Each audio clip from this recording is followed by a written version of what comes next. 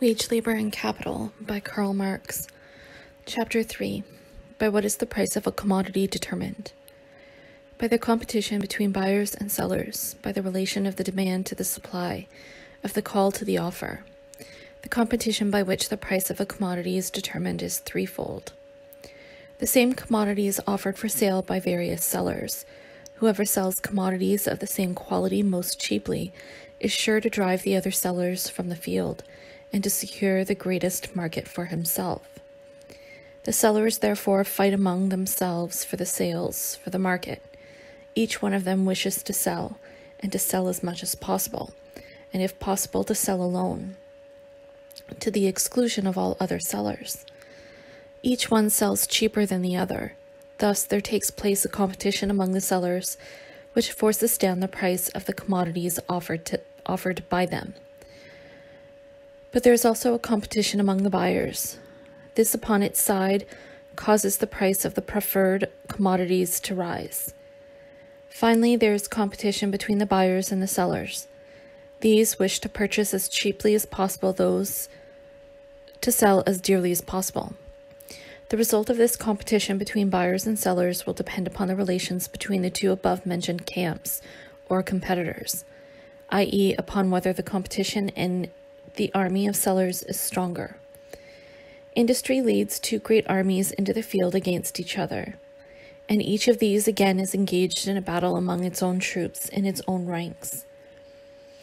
The army among whose troops there is less fighting carries off the victory over the opposing host.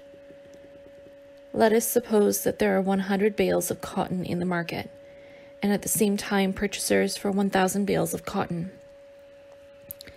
In this case, the demand is 10 times greater than the supply.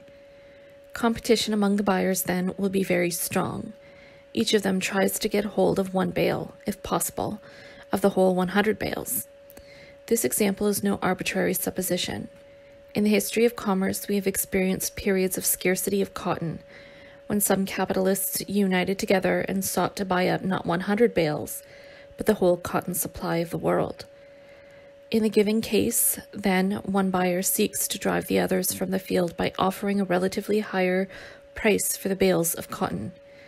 The cotton sellers who perceive the troops of the enemy in the most violent contention among themselves, and who therefore are fully assured of the sale of their whole 100 bales, will beware of pulling one another's hair in order to force down the price of cotton at the very moment in which their opponents race with one another to screw it up high. So, all of a sudden, peace reigns in the army of sellers. They stand opposed to the buyers like one man, fold their arms in philosophic contentment, and their claims would find no limit did not the offers of even the most in, import, importunate of buyers have a very definite limit. If then the supply of a commodity is less than the demand for it, competition among the sellers is very slight or there may be none at all among them. In the same proportion in which this competition decreases, the competition among the buyers increases. Result a more or less considerable rise in the prices of commodities. It is well known that the opposite case, with the opposite result, happens more frequently.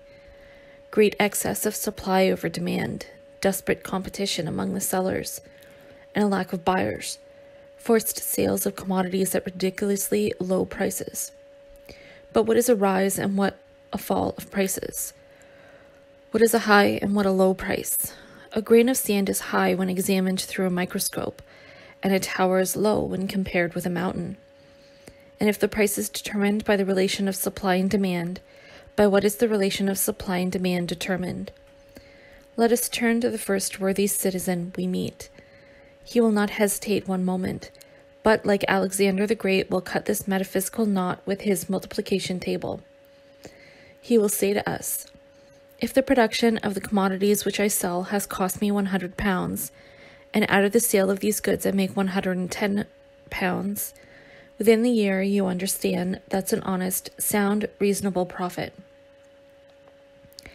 But if in the exchange I receive 120 or 130 pounds, that's a higher profit.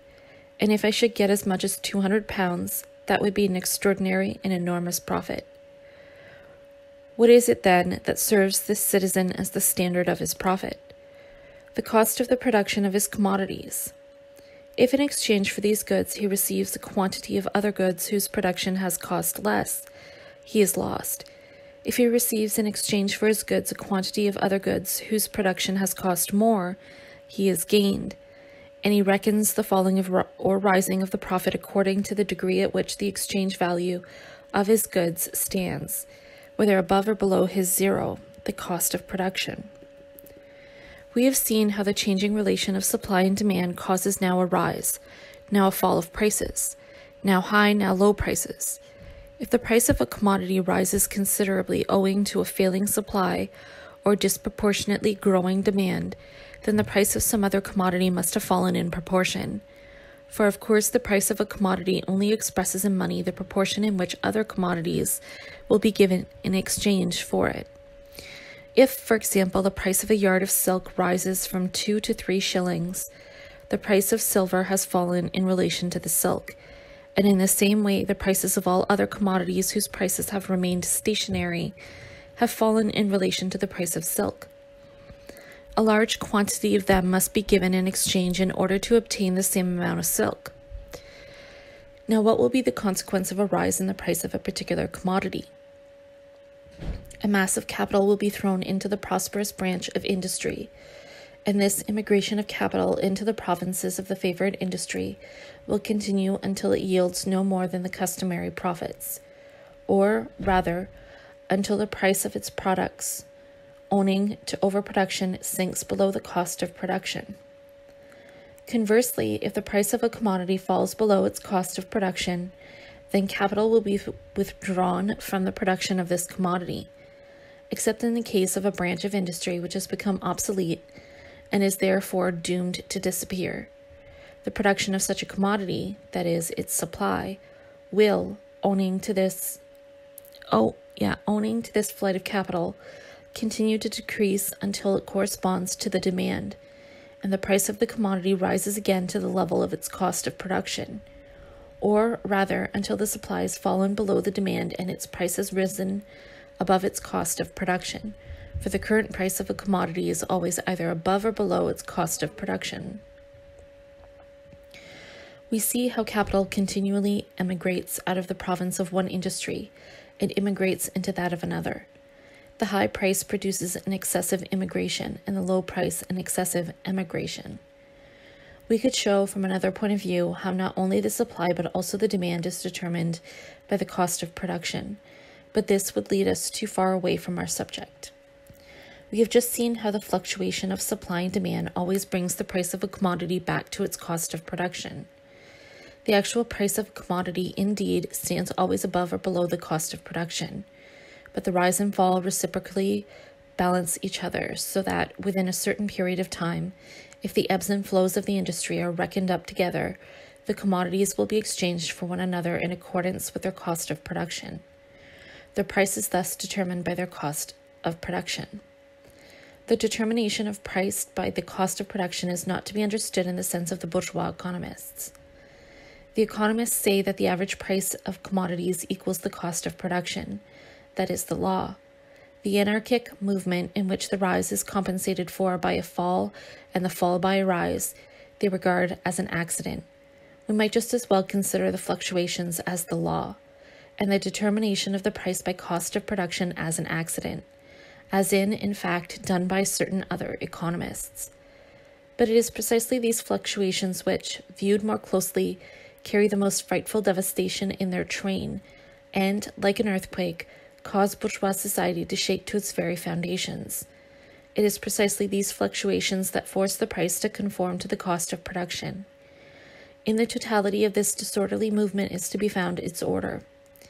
In the total course of this industrial anarchy, in this circular movement, competition balances, as it were, the one extra- extravagance by the other.